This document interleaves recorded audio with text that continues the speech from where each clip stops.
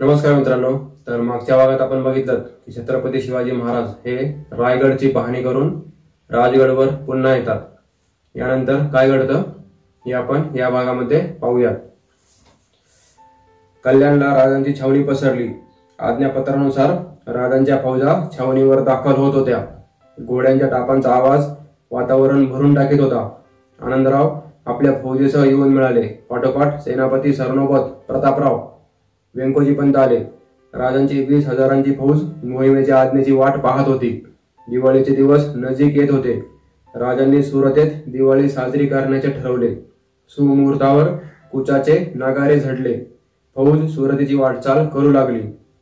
सुरतेपासून अवघ्या दहा कोसांवर शिवाजीराजे पोहोचले. तरी सुरत झोपेतच होती. कल्याणच्या इंग्रज जासुदांनी राजांची फौज कल्याणमध्ये गोळा होताना पाहताच सुरतेला धोक्याची सूचना दिली होती. त्याप्रमाणे इंग्रजांनी सावधगिरी बाळगली. आपला सर्व माल स्वालीच्या गोदीवर त्यांनी सुरक्षित ठेवला. कल्याणच्या सुभेदारालाही ती बातमी समजली होती पण सुभेदाराने तितके लक्ष दिले नाही. अशा अफवा सुरतेत नेहमीच उठत असतात.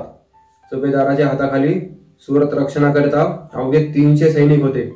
शिवाजी राजांच्या पहिल्या लुटीनंतर सुरतेत फक्त एकच बदल घडला होता. तो म्हणजे सुरतेचा तट. सुरतेभोवती भक्कम तटबंदी उभारली होती. ऐश्वर्य संपन्न व्यापारी पेठेचा लौकिकाला शोभतील अशा देखण्या वेशी उभारल्या होत्या. दहा कोसांवर येऊन जेव्हा राजांच्या फौजेने मुक्काम केला तेव्हा सुभेदाराचे डोळे खाडकन उघडले. शिवाजी आयाची सुरतेत हाकाटी उठली. सुरतेचे लोक चीज वस्तू टाकून मिळेल तिकडे धावत सुटले. सुरतेचा सुभेदार गियाजुद्दीन तीनशे सैनिकांसह सुरतेच्या बंदोबस्ताला उभा राहिला. औरंगजेबाने सुरतेला तटबंदी केली होती. पण वेशीला दरवाजे करण्याचे तेवढा तो विसरला होता. मशिदीतल्या क्षीण बांगेने सुरत जागे झाली. किंबहुना जे जागे होते त्यांना रात्र सरल्याचे जाणवले. थंडीतल्या ओल्या धुक्याचा पडदा सूर्योदयाबरोबर उचलला गेला. सुरतेत भयान शांतता पसरली होती. दिवाळीचा लक्ष्मीपूजनाचा दिवस. वास्तविक पाहता या दिवशी सुरतेत केवढी गडबड असायची. पहाटेलाच हिंदू व्यापाऱ्यांच्या घरासमोर मंगलवाद्य वाजायची. रस्त्यावर घोड्यांचे चौकडे खडखडायचे. हळूहळू नाना भाषांच्या आवाजांनी रस्ता कुजबुजायचा. त्यात सुरतेत भर दिवसा भयान शांतता नांदत होती. एखादे कावरे वावरे झालेले कुत्रे रस्त्यावरून जाताना दिसत होते. सूर्य आकाशात चढत होता. वेशीजवळ गियाजुद्दीन भर थंडीतही आपला घाम पोशीत उभा होता. त्याच्या सैनिकांची भित्री नजर वारंवार सुरते बाहेरच्या माळावरून फिरत होती. सगळीकडे कसे शांत होते. ती शांतता माणसाला पागल बनवायला समर्थ होती.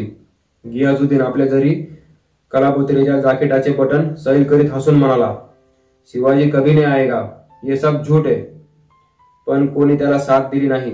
सारे तटाबाहेर पाहत होते. एक सैनिक दाबक्या आवाजात म्हणाला सुभेदार साहब क्या आहे सुभेदाराने घाबरून विचारलं देखो. सैनिकाने दाखवलेल्या दिशेकडे सारे पाहू लागले. काही दिसत नव्हते. फक्त दूरवरच्या टेकडीच्या माथ्यावर तांबूस पट्टा दिसत होता. गियाजुद्दीन रागाने म्हणाला क्या बघताय? सुनो तो सैनिकाने. सुनवतो सैनिक ओरडला.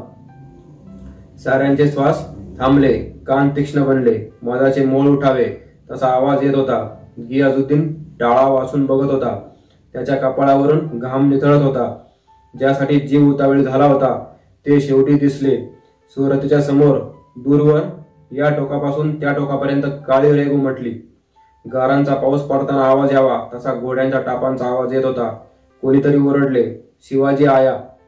तात ठरलेल्या डोळ्यांनी सारे ते दृश्य पाहत होते. टापांचा अखंड नाद कानांवर येत होता. अचानक तो आवाज थांबला. शिवाजीचे घोडदळ थांबले होते. सुरतेच्या समोर उभा ठाकलेला तो सेनासागर पाहून गियाजुद्दीने निर्णय घेतला. सेनाप्रमुखाला अखेरपर्यंत वेश लढवण्याचा आदेश देऊन गियाजुद्दीन सुरतेच्या किल्ल्याच्या आश्रयाला गेला. उमद्या श्वेत घोड्यावर राजे बसले होते. उजव्या बाजूला प्रतापराव होते. डाव्या बाजूला आनंदराव व्यंकोजी पंत होते. राजे सुरतेकडे पाहत होते. सूर्यप्रकाशात सुरत नवरत्नांच्या अंगठीसारखी दिसत होती. राजे म्हणाले प्रतापराव तुम्ही शहराचा कब्जा घ्या. आनंदराव आणि व्यंकोजी पंत तुम्ही शहराची नाकेबंदी करा. आम्ही आमच्या फौजनीशी छावणी करतो. लूट जारी ठेवा. टोपीवाले वलंदेज वगैरे परक्या लोकांच्या वखरींची कळ काढू नका. लढाई टाकून लुटीवर लक्ष ठेवा. जय भवानी. राजाने आपली तलवार उपसली. त्या तलवारीचे टोक त्यांनी आवेशाने सुरतेकडे दाखवले. गगनाला भिडणारी हर हर महादेवची गर्जना एकदा सुटली. बघता बघता अश्वदळ भरधाव वेगाने उधळले. पाहता पाहता राजांना सुरत वेढलेली दिसली. वेशी समोर क्षणभर गर्दी दिसली आणि काही वेळातच वेशीतून प्रवेश करणारे घोडेस्वार राजांच्या नजरेत आले. राजांच्या चेहऱ्यावर समाधान पसरले. मराठी फौजा सुरतेत पसरल्या. सुरतेची अनिर्बंध सत्ता मराठ्यांच्या हाती होती. वाड्यांचे दरवाजे पेढ्या लुटल्या जात होत्या. कोठारावरील संपत्ती राजांच्या समोर रचली गेली. राजांच्या समोर द्रव्यांच्या राशी पडल्या होत्या. इंग्रजांच्या वखारींवर मात्र जागता पहारा होता. राजांच्या सैनिकांनी त्यांना दम देताच वाखारींवरून गोळीबार झाला. या चकमकीत राजांचे अनेक शिपाई ठार झाले. वाखारीत अवघे पन्नास गोरे स्ट्रीम शॅम मास्टरच्या नेतृत्वाने वाखारींच्या निष्ठेने रक्षण करीत होते. त्याचवेळी इंग्रज वाखारींचा गव्हर्नर जिरार्ड ॲग्नर स्वालीच्या गोदीत इंग्रज मालाचे रक्षण करीत होता. मास्टरचा कडवा विरोध पाहून राजांच्या आज्ञेमुळे मराठ्यांनी वाखारींवर चाल केली नाही. राजांनी डचांना तटस्थ राहण्याचा सल्ला दिला होता. त्याप्रमाणे ते तटस्थ होते. ते सुरक्षित राहिले. फ्रेंचांनी सुद्धा आधीच तह केल्यामुळे तेही सुरक्षित होते. पण फ्रेंचांच्या वाखारीसमोर असलेल्या जुन्या सराईत नुकताच सुरतेत आलेला काशगरचा राजा मराठ्यांच्या वेड्यात सापडला. पहिल्या दिवशी त्याच्या रक्षकांनी मराठ्यांना रोखले पण रात्र पडताच त्यांनी राजाला सुरक्षितपणे सुरतेच्या किल्ल्याच्या सुरतेच्या किल्ल्याच्या आश्रयाला पाठवले. राजाचा सर्व माल मराठ्यांच्या हाती सापडला. त्या मालात सोने रुपे मौल्यवान पदके सोन्याचा पलंग व खूप जवाहीर सापडले. रात्र पडली तशी सुरतेवर तांबूस किनार उठली. आकाश प्रकाशमान झाले. मोगलांची व्यापारपेठ सुरत आपल्या प्रकाशाने आकाश उजळीत होती. राजांनी तीन दिवस सुरतेची लूट केली. शेवटी इंग्रजांकडूनही तलवारी सूर्या भारी वस्तू यांचा नजराणा आला. कोट्यावधी होण्याची संपत्ती राजांच्या हाती गोळा झाली होती. राजे त्या लुटीवर तृप्त होते. सुरतेत मिळालेल्या घोड्यांवर लूट लादून राजे माघारी वळले. सुरतेची राजांनी परत बेसुरत केली. शिवाजी परत गेला. यावर कोणाचा विश्वास बसत नव्हता. आगीमध्ये धुमसणाऱ्या सुरतेत सर्रास लूट सुरू होती. कोणाचा पायपोस कोणाच्या पायात नव्हता. या संधीचा फायदा घेऊन खुद्द स्ट्रीम शॅम मास्टर आपल्या खलाशी सहकाऱ्यांसह नंतरच्या लुटीत आपले हात धुवून घेत होता. सुरतने बारा लक्ष रुपयांची वार्षिक खंडणी कबूल केली नाही तर पुढच्या वर्षी परत येऊन सुरत बेचिराग करण्याची तंबी देऊन राजांनी सुरत सोडली. त्यावेळी सुरत धुराचे निश्वास सोडित होती. तर या भागात आपण बघितलं की रायगडावरून आल्यानंतर राजे ते कल्याणला आपली छावणी करतात आणि आपल्या सर्व सैन्याला कल्याणमध्ये जमा होण्याचे आदेश देतात. त्याप्रमाणे प्रतापराव व्यंकोजीराव आनंदराव हे आपले सैन्य घेऊन कल्याणमध्ये राजांना येऊन भेटतात. आणि या सैन्याचे जमवाजमव हे इंग्रजांचे जासूद हे कल्याणमध्ये पाहत असतात. आणि ती खबर ते सुरतला इंग्रजांना कळवतात. त्याप्रमाणे इंग्रज हे सावध होतात. तसेच वलंदेज हे देखील सावध होतात. आणि ते सुरतेचा नवा सुभेदार गियासुद्दीन याला कळवतात की छत्रपती शिवाजी महाराज हे कल्याणला फौज जमा करीत आहेत आणि ते कदाचित सुरतवर आक्रमण करतील. पण गियासुद्दीन हा हे मान्य करत नाही आणि यावर त्याचा विश्वास नसतो. तो म्हणतो की अशा अफवा सारख्या उठत असतात. हे खोटं आहे.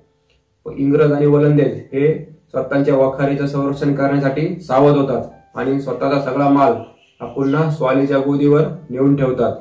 पण सुभेदार गियाजुद्दीन हा निश्चिंत असतो. त्यानंतर महाराज जेव्हा दहा कोसांवर येतात सुरतेच्या तेव्हा मात्र गियाजुद्दीनचे डोळे खाटकन उघडतात. पण तेव्हा वेळ निघून गेलेली असते. मागच्या सुरतेच्या लुटीत आणि या वेळेच्या सुरतेच्या लुटीत एकच बदल झालेला असतो. ते म्हणजे सुरतेला औरंगजेबाने भक्कम तटबंदी टाकलेली असते. पण त्या तटबंदीला दार हे बसवलेले नसतात. त्यामुळे संरक्षण होणार कसं? जेव्हा महाराजांचं सैन्य गियाजुद्दीन बघतो तेव्हा घाबरून तो सुरतेच्या किल्ल्यात आश्रयाला जातो आणि त्याच्या सरदाराला सांगतो की किल्ल्याची वेस ही जी तटबंदी आहे सुरतेची ती शेवटच्या क्षणापर्यंत लढवा. पण ते सैनिक असतात सगळे तीनशे. ते किती वेळ? महाराजांच्या सैन्यासमोर टिकाव धरणार. त्यानंतर महाराज हे सुरतीकडे तलवारीचं टोक दाखवून सुरती लुटण्याचा आदेश सोडतात. त्याप्रमाणे महाराजांचं सैन्य हे सुरतेमध्ये घुसतं आणि तीन दिवस सुरतेची लूट ही चालू असते. पण त्यामध्ये महाराज फ्रेंच वलंदेज आणि इंग्रज यांच्या वाखारीला धक्का लावत नाहीत. आणि करोडो हनांची लूट ही पुन्हा महाराजांच्या हाती लागते. तसेच महाराज हे सुरतेतून दरवर्षी बारा लाखांची खंडणी मिळावी. नाहीतर पुन्हा पुढच्या वर्षी येऊन सुरत बेसुरत करून जाऊ असा धमकी देऊन लुटीसह सुरत सोडतात. आणि यानंतर काय होतं? हे आपण पुढच्या भागामध्ये पाहूयात. तर तात्पुरती मला राजा द्या. जगदंब.